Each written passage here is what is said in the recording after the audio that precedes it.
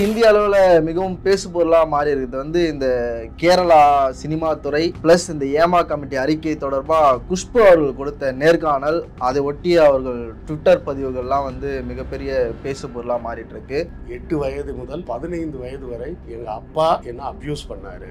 பதினஞ்சு வயசுல எனக்கு கொஞ்சம் தைரியம் வந்து எதிர்த்து பேசினேன் நான் எதிர்த்து பேசின உடனே அப்படியே எங்களை விட்டுட்டு போயிட்டாரு. நான் கீழே விழும்போது என்னை தாங்கி பிடிக்க வேண்டிய கை என்னை அபியூஸ் பண்ணுதுன்னா நான் யார்கிட்ட போய் சொல்லுவேன்? இது இதுல வந்து குஷ்புவோட மனநிலையை தாண்டி அவங்க அம்மாவோட மனநிலையை யோசிச்சு பார்க்குறேன். வீட்டுக்குள்ள புருஷனே தான் சொந்த பிள்ளைய இப்படி பண்றான்றதை தெரிஞ்ச அந்த அம்மா மனசு எவ்வளவு வருத்தப்பட்டு எதுக்காக அவங்க சொன்னாங்க அப்படின்னா இந்த மலையாளத்துல நீங்க இப்ப கொஞ்சம் ஆக்ட்ரஸஸ் வந்து இதை வெளியே சொல்லியிருக்கீங்க. மிச்சம் பாதிக்கப்பட்டவங்க இருந்தாலும் சொல்லுங்க. உங்களுக்கு தைரியம் கொடுக்கறதுக்காக நான் சொல்றேன். குஷ்புவோட அப்பாவை பற்றியே குஷ்பு சொல்கிறாங்கன்னா யாரோ ஒரு ப்ரொடியூசர் யாரோ ஒரு நடிகர் பற்றி தான் நம்ம சொல்ல போகிறோம் அதனால் அந்த ஒரு நம்பிக்கையாக அதுக்கு தான் குஷ்புவோட இந்த ட்வீட்டை நம்ம உதாரணமா எடுத்துக்கணும். அதை விட்டுட்டு ஏன் அன்னைக்கே சொல்லல அன்னைக்கே ஏன் நொட்டல அன்னைக்கே ஏன் கிளிக்கல அப்படின்லாம் கேட்கக்கூடாது. ஒரு நாய் உனக்கு கடிச்சிச்சு நாய் கடிச்சிருச்சு அப்படிங்கறத வெளியே சொன்னா அவமானம்னு சொல்லாம இருப்பியா? இந்த மாதிரியா அந்த பக்கம் போயிடாத அங்க ஒரு நாய் இருக்கு. போனா கடிச்சு வைக்கும். வெறி நாய் இருக்குது அது வெறி வெறி பிடிச்ச நாய். அப்படின்னு வெளியே எல்லாத்தையும் சொல்றோமா இல்லையா? அதை போலத்தான் இதை செய்யுங்க அப்படின்னு நம்ம சொல்லணும் சரி நான் போலீஸ் ஸ்டேஷனுக்கு போய் நேரா எப்படி இதெல்லாம் சொல்றது? அவங்க என்னெல்லாமோ கேள்வி கேட்பாங்க. கேட்கும் போது சொல்றதுக்கு ஒரு மாதிரி இருக்கும்லங்க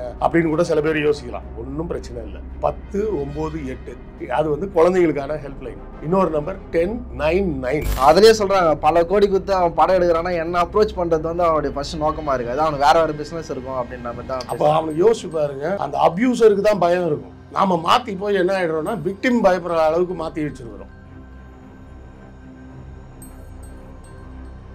அறம் நாடு பார்வையாளர்களுக்கு வணக்கம்.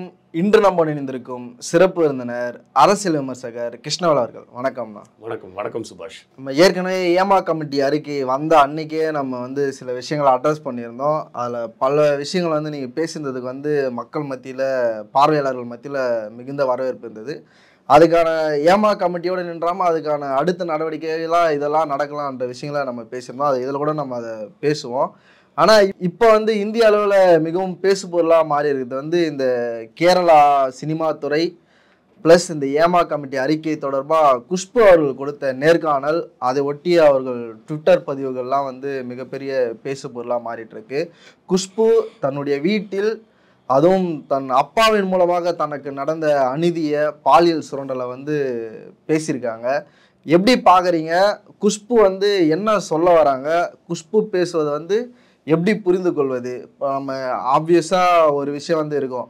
அது வந்து நீங்களுமே அதை பார்த்துருக்க வாய்ப்பு இருக்குது எந்த பெண்கள் வந்து தனக்கு நடந்த அநீதியை வந்து சொன்னாலும் அப்போவே சொல்லியிருக்க வேண்டியதானே அப்படின்ற விஷயங்களும் சேர்ந்து பேச வேண்டிய அதையும் விவாதிக்கப்பட வேண்டிய சூழல் இருக்குது எப்படி புரிந்து கொள்வது எப்படி பார்க்குறீங்க இந்த விஷயத்த? இப்போ நீங்கள் சொன்ன எல்லா விஷயத்தையும் சேர்த்து தான் குஷ்பு வந்து அந்த ட்வீட்டில் சொல்லியிருக்காங்க. என்ன சொல்லியிருக்கிறாங்க அப்படின்னா இந்த மலையாள சினிமா உலகத்தை சார்ந்த தைரியமாக வெளியே வந்து சொன்ன பெண்களை நாம் பாராட்டணும். அவர்களுக்கு சப்போர்ட் பண்ணணும். அப்படின்னு முத வரியிலேயே சொல்லிட்டு தான் நாட் ஒன்லி உமன் ஆல்சோ ஆண்களும் இதற்கு துணை நிற்கணும் ஆமாம் ஆமாம் பெண்கள் மட்டும் இல்லாமல் ஆண்களும் இதற்கு துணை நிற்கணும் அப்படிங்கிறதையும் சொல்லியிருக்கிறாங்க. சொன்னது மட்டும் இல்லாமல் இன்னொரு விஷயம் என்ன சொல்கிறாங்கன்னா ஆமாம் எட்டு வயது முதல் பதினைந்து வயது வரை எங்கள் அப்பா என்ன அப்யூஸ் பண்ணார். அப்போ நான் ஏன் சொல்லலை அப்படின்னு எல்லாரும் கேட்குறாங்க தப்பு தான் ஆனால் நம்ம இதுக்கு கொஞ்சம் முன்னாடியே சொல்லியிருக்கணும். இப்போ இவ்வளோ லேட்டாக சொல்கிறது வந்து தப்பு தான் முன்னாடியே நான் சொல்லியிருக்கணும். நாம் வந்து மற்ற பெண்களுக்கு ஒரு முன்னுதாரணமாக இருக்கணும். இதில் அவமானம்னு எதையும் கருதக்கூடாது. முக்கியமாக நம்ம இந்த பாயிண்ட்டை வந்து நம்ம நோட் பண்ணணும். என்னென்னா நம்ம ஊரில் வந்து இந்தியாவில் குறிப்பாக இந்திய ப பகுதிகளில் மட்டும் பார்த்திங்கன்னா ஒரு பழக்கம் என்னென்னா யார் பாதிக்கப்பட்டாங்களோ அவங்கள வந்து வெளியே சொல்லாத அப்படின்னு அவங்க ஏதோ தப்பு செஞ்ச மாதிரி வெளியே சொல்லாத வெளியே சொன்னால் நமக்கு தானே அசிங்கம் வெளியே சொன்னால் நமக்கு தானே அசிங்கம் அப்படின்ற ஒரு மனப்போக்கு எங்கே வர இருக்குன்னா வீட்டுக்குள்ளே இருக்குது அததான் நான் கேட்க வரேன். வெளியே சொல்றாதுன்றது வந்து பக்கத்தை விட ஊரோ இல்ல. தன்னுடைய அப்பா அம்மா. அப்பா அம்மாவே வந்து வெளியே சொல்லாத நமக்கு தான் அசிங்கம். நான் ஒன்று கேட்குறேன் இப்போ நீ வந்து வெளியே எங்கேயோ போகிற ஒரு நாய் உன்னை கடிச்சிச்சு. சரியா? நாய் கடிச்சிருச்சு அப்படிங்கிறத வெளியே சொன்னால் அவமானம்னு சொல்லாமல் இருப்பியா? வீட்டில் வந்து தான் சொல்லுவேன். வீட்டில் வந்து வீட்டில் சொல்லலாம் நண்பர்கள்ட்ட சொல்லலாம் எல்லாத்தையும் சொல்லலாம். இந்த மாதிரியா அந்த பக்கம் போயிடாத அங்கே ஒரு நாய் இருக்குது போனால் கடிச்சு வைக்கும். வெறி நாய் இருக்கு. அது வெறி வெறி பிடிச்ச நாய். அப்படின்னு வெளியே எல்லாத்தையும் சொல்கிறோமா இல்லையா? அதை போலத்தான் இதை செய்யுங்க அப்படின்னு நம்ம சொல்கிறோம். புரியுதா? நிறைய பேர் என்ன நினச்சிக்கிறாங்க? இப்போ ஒரு குடும்பம் இருக்குது அப்படின்னா அதாவது குஷ்பு ரெண்டாவது வரும் சாதாரணமாகவே குடும்பங்களில் வீடுகளில் அங்கங்கே ஆங்காங்கே பெண் குழந்தைகள் செக்ஷுவல் அப்யூஸுக்கு உட்படுத்தப்படுகிறார்கள். ஆனால் அந்த செக்ஷுவல் அப்யூஸை பண்ணுறது யார்? அப்படின்ற ஒரு கேள்வி இருக்குது யாராக இருக்கும் அப்படின்னு பார்த்தீங்கன்னா ஒன்று அந்த குழந்தையோட கசினாக இருப்பான். டேட்டாவே அதான் சொல்லுது இல்லைன்னா அந்த குழந்தையோட மாமாவாக இருப்பான் இல்லை பெரியப்பா சித்தப்பாவாக இருப்பான். வேறு யாருமே வெளியே இருந்துலாம் வர்றதில்லை. அந்த குடும்பத்தை சார்ந்த யாரோ ஒருத்தன் தான் அந்த அப்யூஸை பண்ணுறான் அப்போது அந்த குழந்தை போய் அவங்க அம்மாட்டையோ அவங்க அப்பாட்டையோ சொன்னால் அவங்க என்ன பண்ணுறாங்கன்னா அடுத்த கட்டமாக அந்த ஆள் வரும்போது அந்த குழந்தைய நெருங்க விடாமல் தடுத்து வச்சுக்கிறது. அவனை வீட்டுக்கு வர விடாத அளவுக்கு வீட்டுக்குள்ளேயே வராத அளவுக்கு அவனை அவனோட உறவை பேசி வெ- வெளியவே வச்சுக்கிறது.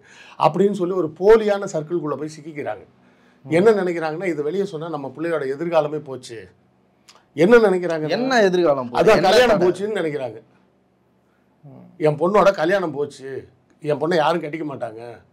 இது ஒன்று தான் இவங்களுக்கு ஒரே பிரச்சனையாக இருக்குது பெண்ணுக்கு திருமணத்தை தாண்டி எத்தனையோ வாழ் வாழ்க்கையில் எத்தனையோ விஷயங்கள் இருக்குது இப்போது நான் ஒன்று கேட்குறேன் ஒரு ஆணை தாண்டி வேறொரு ஆணோடு உறவு வைத்துக் கொண்ட பெண்ணை வந்து சமூகம் அப்படி தான் அசிங்கமாக பார்க்குதா அதெல்லாம் ஒன்றும் கிடையாது. இப்போ எங்கள் அப்பார்ட்மெண்ட்ஸ்லேயே ஒருத்தங்க மா மாடியில் இருக்காங்க. நான் ஃபஸ்ட் ஃப்ளோர் அவங்க செகண்ட் ஃப்ளோரில் இருக்காங்க. அவங்களுக்கு மூணாவது திருமணம். என் வயது தான் இருக்கும் அவங்களுக்கு. அவங்க மூணாவது திருமணம் பண்ணிவிட்டு அந்த மூணாவது கணவரோட தான் வாழ்ந்துட்டு இருக்காங்க. யாரும் அவங்கள அசிங்கமாகவோ அவமானவெல்லாம் பார்க்கறது இல்லை. கரெக்டாக இல்லை பெற்றோர் பார்த்து திருமணம் செய்து வைக்கிறாங்க. ஏதோ ஒரு காரணத்தில் அந்த புருஷன் அந்த பையன் செத்து போகிறான் அந்த காலத்தில் அதெல்லாம் அந்த காலம் மொ மொட்டையடிச்சு மூலையில் உட்கார வைக்கிறது. இப்போல்லாம் என்ன பண்ணுறாங்க இன்னொரு திருமணம் பண்ணி வைக்கிறாங்க. நடக்குதா இல்லையா? அப்போ இதெல்லாம் வந்து ஒரு விஷயமே கிடையாது. அதாவது நான் சொல்கிறது ஒருத்தர் மனம் விரும்பி ஒன்றுக்கு மேற்பட்ட ஆண்களோடு வாழ வேண்டிய ஒரு சூழ்நிலை வரும்போது கூட இந்த சமூகம் அப்படிலாம் அவங்கள அசிங்கமாலாம் பார்க்கறது கிடையாது. வெளியே வந்து சொன்னாலுமே அதுக்கான நீதி கிடைக்குதான்றதும் ஒரு கேள்விக்குறியா இருக்குல்ல? சொன்னா தானே கிடைக்கும். ம். சொன்னா தானே கிடைக்கும். இது எப்படி இருக்குதுன்னா சில லூசுங்க வந்து ஃபேஸ்புக்கில் போடுவாங்க. படிச்சா மட்டும் வேலை கிடைக்குமா அப்படின்னு. நான் அதுக்கு பதில் என்ன சொல்லுவேன் தெரியுமா? படித்தாதாண்டா முதல்ல அப்ளிகேஷனே போட முடியும். அப்ளிகேஷன் போட்டால் தாண்டா வேலையே கிடைக்கும் அப்படின்னு. அதே போலத்தான் சொன்னால் மட்டும் இல்ல அந்த பயம் இருக்குதான்றத இல்ல நீதியும் கிடைக்காம போய் நான் அவமானப்பட்டது தான் மிச்சமாயிடுமோ? ஓகே. அப்படின்ற ஒரு அச்சத்தில் தான் இவங்கெல்லாம் இருக்கிறாங்க. நான் வெளியே சொல்கிறேன் சொல்லி எனக்கு அதற்கான நீதி கிடைக்கல. நீதி கிடைக்கலன்றதை தாண்டி நான் வெறுமனே அசிங்கப்பட்டது தான் மிச்சமாக போச்சு. அப்படின்னு நினைக்கிறாங்க. இதில் நீங்கள் அசிங்கப்படவே இல்லை. ஒருத்தனோட மிருக முகத்தை வெளிக்காட்டுறீங்க. ஒரு பெரியப்பா வந்து ஒரு குழந்தைய வந்து இது மாதிரி அப்யூஸ் பண்ணிட்டான்னு வச்சுப்போம். நீங்கள் அதை எக்ஸ்போஸ் பண்ணீங்கன்னா மொத்த குடும்பத்து சொந்தக்காரன் எவனும் அந்த பெரியப்பனை வீட்டுக்கு விட மாட்டான். அதுதான் நடக்கும். நீங்கள் என்ன நினைக்கிறீங்க? அவர் குடும்பத்தில் பெரியவர் அவரை பகைச்சிக்கிட்டு நம்ம எப்படி வாழ்றது அப்படின்னு நினைக்கிறீங்க. நீங்கள் எல்லாரும் தான் குடும்பம். உங்கள் எல்லாரையும் வச்சு தான் அவர் பெரிய மனுஷன்னு காமிச்சிக்கிறாரு. அந்த பெரிய மனுஷனே சில்லறத்தனமா நடந்துறானே அப்படின்றத வெளியே சொல்லிட்டீங்கன்னா மொத்த குடும்பமும் அவனை வெளியே தள்ளிடும் ஏன்? அந்த பெரியம்மாவே அவனை செருப்பு கட்டி அடித்து வெளியே துரத்தி விட்டுரும். மனுஷனாடா நீ? அந்த குழந்தை பிறந்தப்ப நம்ம தான்டா கையில் வாங்கி கொஞ்சிரும். அந்த குழந்தைகிட்டயே போய் நீ இப்படி பண்ணுறிய அப்படின்னு கேட்பாங்களா கேட்க மாட்டாங்களா? கண்டிப்பாக கேட்டு செருப்பு கட்டி அடிப்பாங்க அந்த பெரியம்மாவே அடிப்பாங்க. புரியுதா? நாம் சொல்கிறது என்னென்னா நீங்கள் வந்து இதில் வந்து அவமானப்படுறதுக்கோ அச்சப்படுறதுக்கோ எதுவுமே கிடையாது. உங்களை ஒரு நாய் கடிச்சிருச்சுன்னா எப்படி எச்சரிக்கையாக நடக்கணும்னு ட்ரை பண்ணுவீங்களோ அதே எச்சரிக்கையோடு இது அணுகுங்க. அவனும் ஒரு நாய் தான் அவன். அவன் மனுஷனே கிடையாது. சரியா? ஒரு நாற்பது ஐம்பது வயதில் இருக்கக்கூடிய ஒருத்தன் ஒரு எட்டு வயசு குழந்தைய போய் செக்ஷுவலாக அப்ரோச் பண்ணுறான்னா அவன் வந்து மனுஷன் அவன். அவன் மனுஷனே கிடையாது. சரியா? இப்போ எங்கள் வீட்டில் பார்த்தீங்கன்னா எங்கள் அப்பார்ட்மெண்ட்ஸில் நிறைய குழந்தைங்க இருக்குது. சாயங்காலம் குடுக்குறோன்னு எல்லாம் ஓடி வரும். அதில் அந்த மாதிரி ஓடி வர்ற ஒரு குழந்தைய வந்து ஒருத்தர் செக்ஷுவலாக அப்ரோச் பண்ணுறான்னா அவன் எவ்வளோ அவனை எப்படி நீ மனுஷன் மனுஷ லிஸ்ட்லேயே சேர்க்க முடியாதுல்ல ம். அன்னைக்கே சொல்ல வேண்டியது தானே இதுதான் பிரச்சனை. அன்னைக்கே சொல்ல வேண்டியதா? அன்னைக்கே சொல்ல வேண்டியதுன்னா அன்னைக்கு வந்து இன்னைக்கு இருக்கிற தெளிவு இருக்குமா அப்படின்னு ஒரு கேள்வி இருக்குல்ல. இப்போ உங்களுக்கு வயசு வந்து கிட்டத்தட்ட ஒரு முப்பது வயசு ஆக போகுது அவ்வளோ கூட ஆகலைன்றீங்க? அப்போ இந்த வயதில் உங்களுக்கு இருக்கக்கூடிய அறிவு தெளிவு எவ்வளோ இருக்கும்? அது இந்த வயதுக்கு உங்களுக்கு எவ்வளோ எக்ஸ்பீரியன்ஸோ அவ்வளோதான் இருக்கும். நேற்று கூட எங்கள் வீட்டில் இருக்கவங்க கிட்ட சொல்லியிருந்தேன். இப்போ இருக்கிற மென்டாலிட்டி வந்து ஒரு அஞ்சு வருஷத்துக்கு முன்னாடி இருந்ததுன்னா நான் இவ்வளோ கஷ்டப்பட மாட்டேன் அப்படின்னு நம்ம இயல்பாக சொல்கிறோம் இப்போ நான் வந்து முப்பது வயசில் இப்போ இருக்கிற தெளிவோட இருந்திருந்தேன்னா அப்படின்னு நம்ம சொல்லிக்கலாம். அப்படி இருக்க முடியாது. அப்படி இருக்கவும் முடியாது. அதுதான் பிரச்சனையே. சரியா? ஒரு பிரச்சனையை அனலைஸ் பண்ணுறதுக்கும் அதுக்கு உண்டான அனுபவங்கள் கிடைக்கும்போது தான் அந்த பிரச்சனையை எப்படி ஹேண்டில் பண்ணுறதுன்றதே நம்ம பார்க்க முடியும். அதுக்கு முன்னாடி தானாகவே எல்லாம் தெரிஞ்சிருக்க முடியாது. நம்ம ஒன்றும் கம்ப்யூட்டர் ப்ரோக்ராம்டு ரோபோ கிடையாது. இல்லை அப்படி சொல்கிறவங்களுக்கு உங்கள் பதில் என்ன? அதுதான் நான் அன்னைக்கு சொல்லலைனாலும் இன்னைக்காவது சொல்கிறேன்ல இன்னைக்கு கேளு.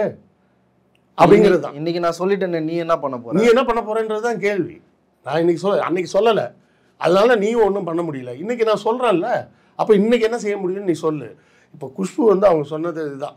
எட்டு வயது முதல் எங்கள் அப்பா வந்து என்னை அப்யூஸ் பண்ணார். பதினஞ்சு வயசில் எனக்கு கொஞ்சம் தைரியம் வந்து எதிர்த்து பேசினேன் அப்போ எட்டு வயசில் அவங்களுக்கு தைரியம் இல்லை. அவங்க சொல்கிறது அதுதான். நான் கீழே விழும்போது என்னை தாங்கி பிடிக்க வேண்டிய கை என்னை அப்யூஸ் பண்ணுதுன்னா நான் யார்கிட்ட போய் சொல்லுவேன்? அதனால தான் நான் சொல்ல முடியாமல் இருந்தேன். The same hands that should hold me when I fall அப்படின்னு ஆங்கிலத்தில் போட்டிருக்காங்க. நான் கீழே விழும்போது என் தாங்கி பிடிக்க வேண்டிய கை என்னை அப்யூஸ் பண்ணுதுன்னா நான் என்ன செய்ய முடியும்? எனக்கு ஒன்றும் தெரியல. அப்போ தெரி ஓரளவுக்கு தெரிஞ்சதுக்கு பிறகு தான் நான் எழுத்து பேசுகிறேன் இதை நான் ம- முடியாது போ அப்படின்னு. அப்போ எங்கள் அப்பா என்ன பண்ணுறாரு எங்கள் குடும்பத்தை அப்படியே அம்போன்னு விட்டுட்டு அவர் பாட்டுக்கு போயிட்டாரு. இதனாலேயே. ஆமாம் அதுக்காக அவங்க குஷ்பு அந்த ட்வீட்டில் தான் சொல்லியிருக்காங்க. நான் எழுத்து பேசின உடனே அப்படியே எங்களை விட்டுட்டு போயிட்டாரு. இது இதில் வந்து குஷ்புவோட மனநிலையை தாண்டி அவங்க அம்மாவோட மனநிலையை யோசிச்சு பார்க்குறேன். வீட்டுக்குள்ளே புருஷனே தான் சொந்த பிள்ளைய இப்படி பண்ணுறான்றதை தெரிஞ்ச அந்த அம்மா மனசு எவ்வளோ வருத்தப்பட்டிருக்கும்? வருத்தம் இல்லை எவ்வளோ நொந்து போயிருப்பாங்க வெளியே சொல்ல முடியாமல் எவ்வளோ கஷ்டப்பட்டிருப்பாங்க. வேற யாரோ இருந்தால் கூட சொல்லலாம். தான் புருஷனை போய் எப்படி சொல்கிறது அப்படின்னு என்ன பாடுபட்டிருப்பாங்க அந்த அம்மாவோட மனசுன்றதை யோசிச்சு பார்க்கணும். இப்போ இவங்க இதை வந்து சொன்னது வந்து எதுக்காக அவங்க சொன்னாங்க அப்படின்னா இந்த மலையாளத்தில் நீங்கள் இப்போ கொஞ்சம் ஆக்ட்ரஸஸ் வந்து இதை வெளியே சொல்லியிருக்கீங்க. மிச்சம் பாதிக்கப்பட்டவங்க இருந்தாலும் சொல்லுங்கள் உங்களுக்கு தைரியம் கொடுக்கறதுக்காக நான் சொல்கிறேன் நம்ம பேர் கெட்டு போயிடும். நம்மளை ம ஒரு மாதிரி பார்ப்பாங்க நம்மளை மதிக்க மாட்டாங்க அப்படின்லாம் நினைக்காதீங்க. இதோ நான் சொல்கிறேன் ஓப்பனாக நீங்களும் ஓப்பனாக சொல்லுங்கள் அதாவது ஒரு நம்பிக்கையை விதைக்கிறாங்க. தைரியத்தை கொடுக்குறாங்க. ஓகே. இதை சொல்கிறது மூலமாக ஒன்றும் ஆயிடாது. இப்போ குஷ்புவோட அப்பாவை பற்றியே குஷ்பு சொல்கிறாங்கன்னா யாரோ ஒரு ப்ரொடியூசர் யாரோ ஒரு நடிகர் பற்றி தான் நம்ம சொல்ல போகிறோம் அதனால அந்த ஒரு நம்பிக்கையாக தைரியமாக சொல்லுங்க. ஒன்றும் பயப்படக்கூடாது. நானும் திரும்ப திரும்ப சொல்றது இதுதான். எந்த விதமான செக்ஷுவல் அபியூஸாக இருந்தாலும் அதை வெளியே சொல்லுங்க. வெளியே சொல்லணும்னா யார்கிட்ட போய் சொல்கிறது ஏதாவது ஒரு அத்தாரிட்டி சொல்றது? உங்களுக்கு தெரிஞ்ச மொதல் அத்தாரிட்டி நீங்க குழந்தைங்களாக இருக்கீங்கன்னா உங்க அப்பா அம்மாட்ட சொல்லுங்க. வா வாத்தியார்ட்ட சொல்லுங்க. இல்லை வாத்தியார் தான் அபியூஸ் பண்றாருன்னா அப்பா அம்மாட்ட சொல்லுங்க. சரியா? முதல்ல குழந்தைங்க வந்து குழந்தைங்களோட பேசி பழகணும் அப்பா அம்மா. அது மட்டும் இல்லை இன்னொரு விஷயம் என்னென்னா நிறைய பெற்றோர்கள் வந்து நிறையா பயப்படக்கூடிய விஷயம் என்னன்னு கேட்டிங்கன்னா இது பப்ளிக்கில் தெரிஞ்சிருச்சுன்னா என்ன பண்ணுறது இது பப்ளிக்கில் தெரியக்கூடாதுன்றது சுப்ரீம் கோர்ட் ஆர்டர் சுப்ரீம் கோர்ட்டில் கொடுத்துருக்க ஆர்டரே என்னென்னா செக்ஷுவல் ரிலேட்டட் அப்யூஸாக இருந்தால் அதில் விக்டிமோட பேரோ ஃபோட்டோவோ எதுவுமே வெளியிடக்கூடாது அப்படின்னு சுப்ரீம் கோர்ட்டில் ஒரு உத்தரவே இருக்குது ஸோ அதனால் பேர் வெளியே வரும் பத்திரிகையில் பேர் வந்துடும் அப்படின்லாம் நீங்கள் பயப்பட வேணாம். யார் பாதிப்பை உருவாக்குனானோ அவன் பேர் வரும் ஃபோட்டோலாம் வரும். பாதிப்புக்கு உள்ளானவங்களோட ஃபோட்டோவோ பேரோ எதுவும் வெளிவராது இதுக்கு சுப்ரீம் கோர்ட்டில் ஆர்டரே இருக்குது அதை நீங்கள் இன்னும் உறுதி செஞ்சுக்கணும்னா கொஞ்ச நாளைக்கு முன்னாடி கல்கத்தாவில் ஒரு லேடி டாக்டர் வந்து ரேப் பண்ணி கொண்டுட்டாங்க. ஆரம்பத்தில் டக்குன்னு அவசரத்தில் அவன் ஃபோட்டோ எடுத்து போட்டாங்க. அதுக்கப்புறம் சுப்ரீம் கோர்ட்லேருந்து திருப்பியும் திட்டினதுக்கப்புறம் எல்லா மீடியாலேயும் அந்த ஃபோட்டோஸை ரிமூவ் பண்ணாங்க. எல்லாம் சோஷியல் மீடியாலேருந்து எடுத்து எல்லாத்துலேயுமே இருந்து அந்த ஃபோட்டோஸை ரிமூவ் பண்ணிட்டாங்க. ஸோ அதுலேருந்து நீங்கள் புரிஞ்சுக்கலாம். சரி நான் போலீஸ் ஸ்டேஷனுக்கு போய் நேராக எப்படி இதெல்லாம் சொல்கிறது அவங்க என்னெல்லாமோ கேள்வி கேட்பாங்க. கேட்கும் போது சொல்கிறதுக்கு ஒரு மாதிரி இருக்கும்லங்க அப்படின்னு கூட சில பேர் யோசிக்கலாம். இதை போய் எப்படிடா வெளியே சொல்கிறது அப்படின்ற ஒரு வாய் விட்டு எப்படி சொல்கிறதுன்ற கூச்சம் வரும்.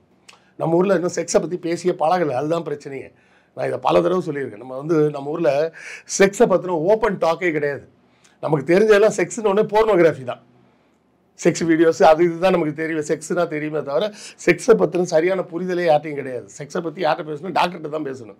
அவருக்கு தான் இந்த பாடியை பற்றி நல்லா தெரியும். அதை விட்டுட்டு எல்லாரையும் வேறு வேறு இடத்துல தான் பேசுகிறாங்கன்னு வைங்க. அப்படி நீங்கள் போய் சொல்கிறதுக்கு கூச்சப்பட்டீங்களா? ஒன்றும் பிரச்சனை இல்லை. பத்து ஒம்பது எட்டு. ஈஸியாக ஞாபகம் வச்சுக்கலாம். பத்துலேருந்து மூணு நம்பர் டென் நைன் எயிட் அது வந்து குழந்தைங்களுக்கான ஹெல்ப்லைன் இன்னொரு நம்பர் டென் நைன் நைன் எல்லாரும் எப்படியோ ஒரு நல்ல காரியம் செஞ்சுருவாங்க தெரியுமா? அது மாதிரி எடப்பாடியார் செஞ்ச நல்ல காரியம். இந்த புது ஹெல்ப்லைனை கொண்டு வந்தது பத்து தொண்ணூத்தொம்பது.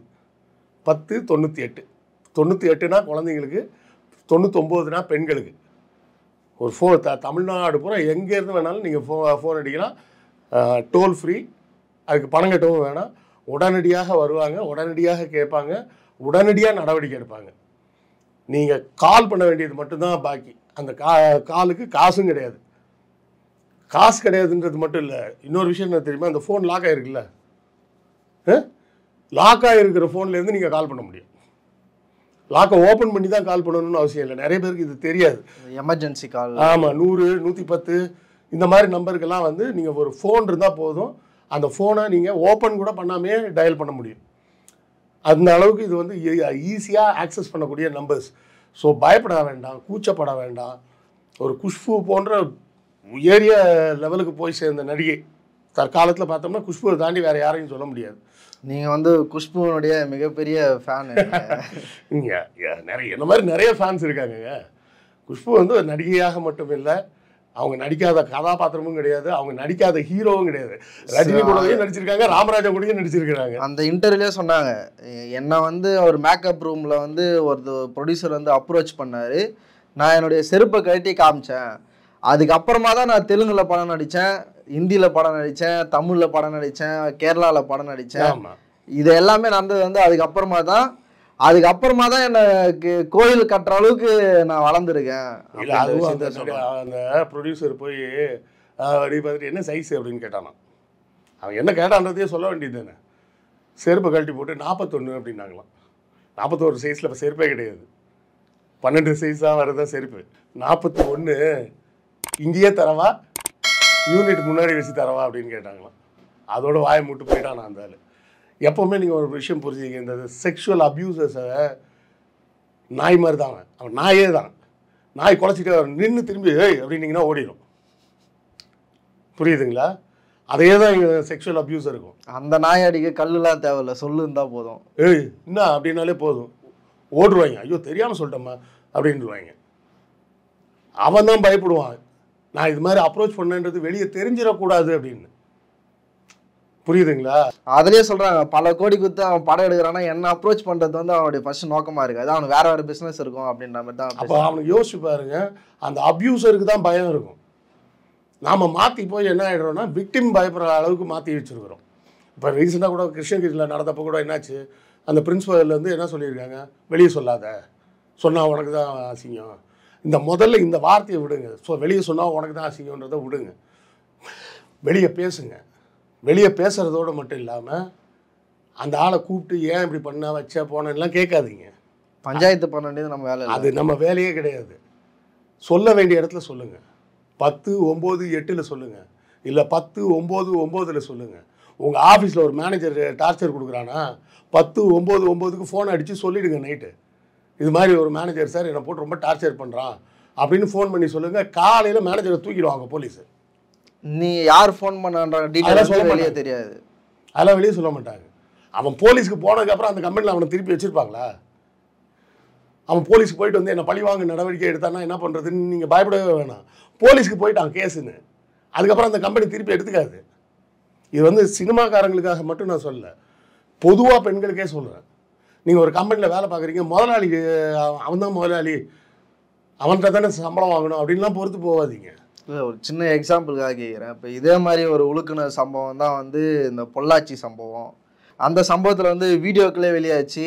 யார் அந்த செயல்கள் செய்தாங்கன்றது வந்து பேரோட எல்லாருக்குமே தெரியும். இப்போ அதில் தண்டனைகள்லாம் வரலையே. நம்ம போயிட்டு நம்ம விசாரணையில் இருக்குது இப்போதைக்கு. என்ன பிரச்சனைனாமா போலீஸை பொறுத்தவரை ஒரு கம்ப்ளைண்ட் மேலே தான் அவங்க நடவடிக்கை எடுக்க முடியும். கோர்ட் மாதிரி சுவ மோட்டோவெல்லாம் அவங்க நடவடிக்கை எடுக்க முடியாது. இல்ல அது அந்த அந்த உதாரணத்தை காமிச்சு வீட்ல இருக்கவங்க பயப்படலாம்ல அது. அதைத்தான் சொல்கிறேன் அது வெளியே போகிறதுக்கு முன்னாடி இந்த வேலையை செஞ்சுருங்க நீங்கன்ற. அதே போலவே இன்னொரு செய்தியும் இந்த இடத்துல சேர்த்து சொல்கிறேன் ஒரு ஒரு இப்- இப்படியும் நடக்கும். நீங்கள் ஒருத்தரை ரொம்ப விரும்பி காதலிச்சிருக்கலாம் ஒன்றாவே இருந்திருக்கலாம் இன்டிமேட்டாக இருந்திருக்கலாம் அதன் மூலமாக ஃபோட்டோஸ் எடுத்திருக்கலாம் வீடியோஸ் கூட அந்தரங்கமான வீடியோஸ் ரெண்டு பேருமே கூட ஷேர் பண்ணியிருக்கலாம். அதெல்லாம் இந்த காலத்தில் சகஜமாக நடக்கிற விஷயம். அதை போய் நான் தப்புன்னுலாம் சொல்ல மாட்டேன். அது அவர் நிறைய பேர் உடனே அன்றைக்கி ஃபோட்டோ எடுக்கும்போது உனக்கு அறிவு எங்கே போச்சு? அப்படின்னு வந்து நிற்பாங்க அதுக்குள்ளெல்லாம் நான் போகவே இல்லை. அதெல்லாம் ஒரு தப்பே கிடையாது. அது வந்து அந்த வயசுக்கு தோணக்கூடியது. அதனால் ஒரு பிரச்சனையும் கிடையாது. அந்த பழைய முன்னாள் காதலன் வந்து இன்னைக்கு வில்லனா மாறுறான். ஃபோட்டோவை அனுப்புகிறான் அதே ஃபோட்டோவை திருப்பி அனுப்பி நீ என் கூட மறுபடியும் வந்து படு. இல்லை எனக்கு காசு கொடு. இல்லைனா நான் உன்னை வந்து அப்படி பண்ணுவேன் இப்படி பண்ணுவேன். அப்படின்னு சொல்லி ஏதாவது மிரட்டுறானா? ஒன்றும் பண்ணாதீங்க. அந்த ஃபோட்டோ இருக்குல்ல. உங்களுக்கு வாட்ஸ்அப்லேயே ஏதோ ஒரு வகையில் உங்களுக்கு அமுச்சு தானே அவன் சொல்லுவான். என் பழைய ஃபோட்டோ வச்சுருக்கேன். அதை வச்சு ஒன்று மிரட்டுவேன்லாம் சொல்ல மாட்டான். ஒரு ஃபோட்டோ அமுச்சு ஏன்னா அது- அது எப்போவுமே இந்த பிளாக்மெயில் பண்ணுறவங்க பூரா இப்படி தான் ஒன்று அனுப்புவாங்க என் ஆதாரம் இருக்கு அப்படின்னு. அனுப்புவான்ல. அதை ஒரு ஸ்க்ரீன்ஷாட் எடுத்து வச்சுக்கிங்க. அந்த நம்பரில் இருந்தால் வந்திருக்குன்றது டெலீட் ஆகிடக்கூடாது ஏன்னா அவன் டெலீட் ஆள் கொடுத்துட்டான்னா போயிடும். அதெல்லாம் முதல்ல ஒரு ஸ்க்ரீன்ஷாட் எடுத்து வச்சுக்கிங்க. ரெண்டாவது அந்த ஃபோட்டோவை டவுன்லோட் பண்ணிக்கிங்க. பண்ணி என்ன பண்ணுங்கள் நான் ஒரு வெப்சைட் பேர் சொல்கிறேன் அந்த வெப்சைட்டில் போய் அப்லோட் பண்ணுங்கள் வெப்சைட்டோட பேர் stop NCII. Spelling S T O P. Stop NCII.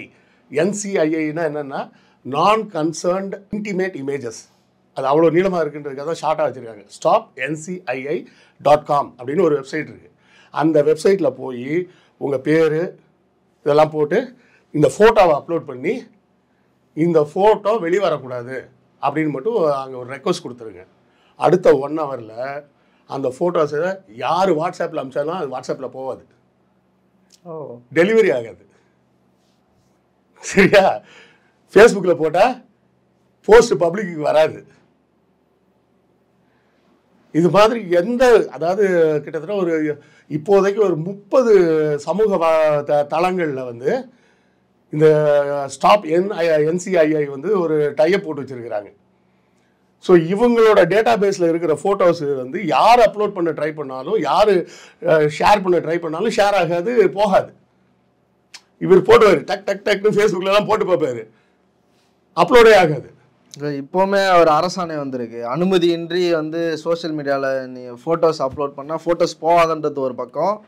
இப்போ அது மாதிரி பண்ணாங்கன்னா அவங்களுக்கு வந்து மூன்று ஆண்டுகள் வரை சிறை கிடைக்க இன்டிமேட் ஃபோட்டோஸ்லாம் விட்டுருங்க. நான் இப்படி சும்மா உட்காந்துருக்கேன்ல இந்த சாதாரணமாகவே என்கிட்ட பர்மிஷன் கேட்காம நீ ஃபோட்டோ எடுக்கக்கூடாது. அதுதான் ரூல்ஸ் சரியா? கன் என்னோட அனுமதி இல்லாமல் என்னை ஃபோட்டோவே எடுக்க முடியாது சாதாரணமாகவே இப்போ இந்த மாதிரி விஷயங்கள் எதுக்கு சொல்கிறோம் அப்படின்னா எதுக்கும் பயப்படாதீங்கன்ற. இப்போ இந்த ஸ்டாப் என்சிஐஏயில் ரெஜிஸ்டர் பண்ணிவிட்டு இந்த ஸ்க்ரீன்ஷாட்டை எடுத்து கொண்டு போய் சைபர் கிரைமில் கொடுத்துருங்க. அவனை அடுத்த தூக்கி உள்ள வச்சுருவாங்க. ஸோ மிரட்டுறவனை பார்த்து பயப்படாதீங்க.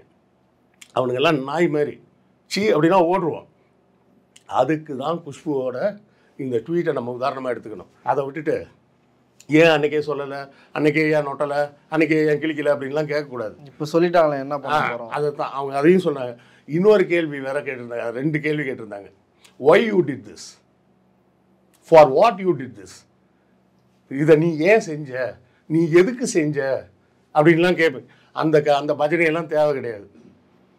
செஞ்சிருக்காங்க பாதிக்கப்பட்டிருக்காங்க அவ்வளோதான் பாதிக்கப்பட்டது தான் உண்மையை தவிர அது ஏன் நடந்தது எதுக்கு நடந்ததுன்ற கேள்வியெல்லாம் அப்போ நீ வந்து ஒரு ஃபேவருக்காக தானே செஞ்ச? ஃபேவருக்கு இல்லை பயத்துக்காகவும் செஞ்சுருக்கலாம்ல. அதையும் அவன் சொல்லிட்டான் நான் சினிமாவில் நடிக்கணுன்ற என்னுடைய கேரியர் வந்து பாதிப்படையலாம் நான் சொல்லாம விட்டு இல்லை அப்படின்றதா சொல்கிறாங்க ஸோ அதனால என்ன நடக்கும்னா உங்களுக்கு முதல்ல மன நிம்மதி கிடைக்கும். இந்த மாதிரி விஷயங்களில் வந்து முதல் பிரச்சனையே என்னென்னா மன உளைச்சல் வந்து தாங்க முடியாதுங்க. நம்மளை ஒருத்தன் இப்படி யூஸ் பண்ணிட்டானே யூஸ் பண்ணிட்டானே யூஸ் பண்ணிட்டானேன்னு சொல்லி அது ஆணாக இருந்தாலும் பெண்ணாக இருந்தாலும் சரி இப்போ ஒரு ஐநூறுரூவா காணாமல் போச்சுன்னு வைங்களேன் எவ்வளோ பதறுவீங்க? செலவு பண்ணிட்டா பிரச்சனை பிரச்சனை இல்லை. நீங்கள் விரும்பி ஒருத்தர் கூட இருக்கிறது வேற. உங்கள் விருப்பத்துக்கு மாறாக ஒருத்தர் உங்களை கட்டாயப்படுத்தும் போது அந்த மன உளைச்சல் வந்து சாகர வரை போகாது. அதனால குஷ்பு சொன்னதை மனதில் வைத்துக்கொண்டு மற்ற நடிகைகளும் முன்வர வேண்டும். பொதுமக்கள்லையும் உங்களுக்கு ஏதாவது நடந்திருந்தா தைரியமாக வெளியே வந்து பேசுங்க.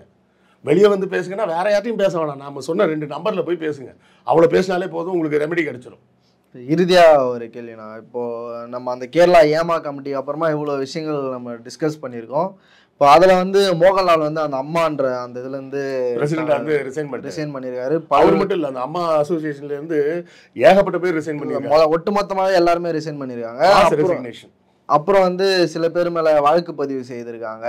இதை எப்படி பார்க்குறீங்க? இப்போ விஷால் வந்து தமிழ்நாட்டில் இருந்தும் குரல்கள் எழும்ப ஆரம்பிச்சிருச்சு. இது நம்ம இண்டஸ்ட்ரியில் வந்து இது மாதிரி ஒரு கமிட்டி அமைக்கணும் அப்படின்ற விஷயங்களை நோக்கி போகிறாங்க இது எப்படி பார்க்குறீங்க? கமிட்டி அமைப்பது மட்டும் இல்லாமல் நான் ஏற்கனவே சொன்னது தான் எப்படி அனிமல்ஸோட சேஃப்டிக்கு ஒரு போ போர்டு அமைச்சிருக்கிறாங்களோ அதே மாதிரி விமன்ஸோட சேஃப்டிக்கு ஒரு போர்டு மாதிரி ஒன்று அமைச்சு இன் சினிமா துறை. சினிமா துறைக்கு.